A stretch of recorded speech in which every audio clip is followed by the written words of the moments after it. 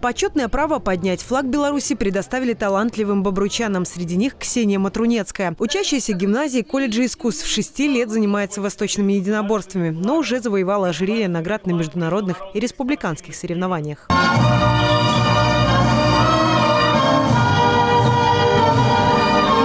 Нынешние символы белорусского суверенитета были утверждены в 1995 году, а с 98-го указом президента каждое второе воскресенье мая стало государственным праздником. Герб и флаг – главные символы независимости республики, подчеркивающие национальный дух и достоинство белорусского народа. Вот эти вот наши символы, они являются, наверное, основой нашего развития нашей страны. Мы видим, как э, на сегодня все относятся к этой символике, да? насколько мы гордимся, когда флаг нашей страны взвивается на любого уровня мероприятиях, соревнованиях. Поэтому для нас это очень знаковый день, для нас это очень важный день. Через считанные минуты Максим Корбут вступит в ряды пионеров. Девятилетний мальчик немного волнуется, но осознает всю ответственность красно-зеленого флага и точно знает, какими качествами должен обладать настоящий патриот. Трудолюбивыми, то, что он должен э, не оставаться в стороне, если беда какая-нибудь.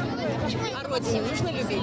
Да. По традиции в день герба и флага лучшие учащиеся вступают в пионерскую организацию. В этом году ряды активистов пополнила сотни школьников и гимназистов. Перед родителями и товарищами ребята произнесли торжественные клятвы, а представители власти, общественных объединений и депутаты повязали новоиспеченным пионерам галстуки – частичку государственной символики. Мне радостно, что я стал пионером. Это человек, который защищает свою родину и, например, ходит к ветерану. Я захотела стать пионером.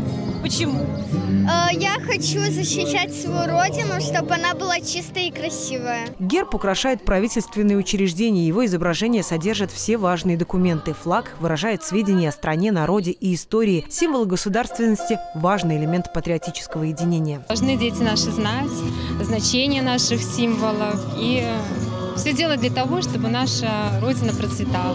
Очень приятно, что вот ребенок в торжественной обстановке, и ее приняли в пионеры. Ну, я думаю, что надо поддерживать и молодежь, и, ну, и в честь такого праздника День герба, и и детям, чтобы дети знали тоже об этом. По случаю праздника 27 парней и девчонок получили членские билеты и значки БРСМ. После торжественной части на площади прошел небольшой концерт. Звучали песни военных лет в память о тех, кто ценой своей жизни сберег для нас мир и независимость. Елена Кутузова, Владимир Глебеневич, Бобруйск, 360.